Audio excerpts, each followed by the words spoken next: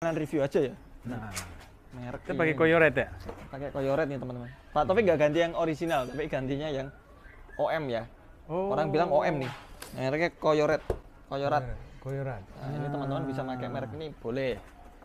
Nah. Kayak gitu. Kita kan siapa tahu dapat endorse koyoret. Iya. Ayo, Mas Mas Koyorat, hubungi Mas Ardi ya. DM ya DM. dapat harga khusus.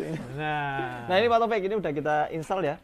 Nah, oke ini saya keluarin center juga. Nah, Oke. Punya center.